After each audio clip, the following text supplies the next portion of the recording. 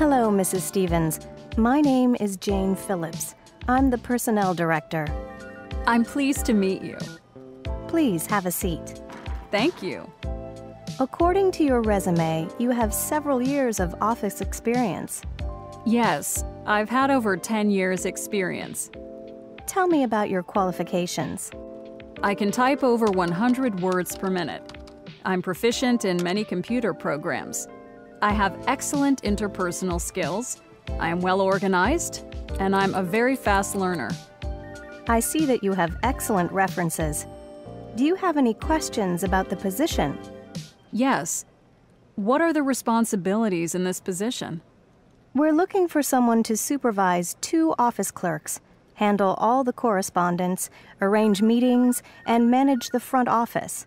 Have you had any supervisory experience? Yes. I supervised three administrators in my last position.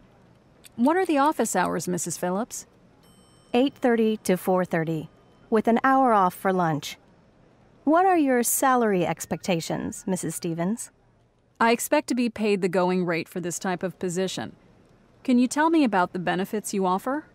Yes, we provide full medical and dental coverage, a pension plan, and a three week holiday per year. That's very generous. When is the position available? We're hoping the successful applicant can start at the beginning of next month. We'll finish our interviews tomorrow and make a decision by the weekend.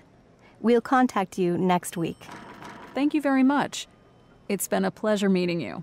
I hope to hear from you soon. Thanks for coming in to see us, Mrs. Stevens.